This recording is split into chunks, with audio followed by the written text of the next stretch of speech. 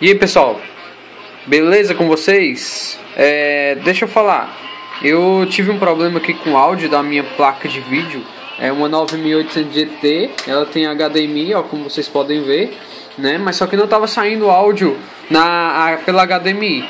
Eu cacei esse cabo para comprar aqui onde eu moro, não achei.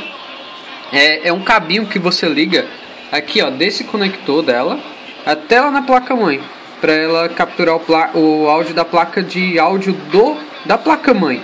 Porque essa placa de vídeo ela não tem placa de áudio embutido nela, igual muitas outras aí, né? Então, olha só o que, que você vai ter que fazer. Eu, no meu caso, eu usei aqui um ferro de solda, né? Vou mostrar para vocês aqui. Ferro de solda e estanho. E também peguei um cabinho desses de celular de carregar, né? Que desses assim, USB e tal, que tinham uns fios dentro. E estanhei a ponta e simplesmente soldei ela ali, ó. Olha lá, tá vendo? Tá soldado lá. Ó, lembrando que você tem que ligar na sequência certa, olha só.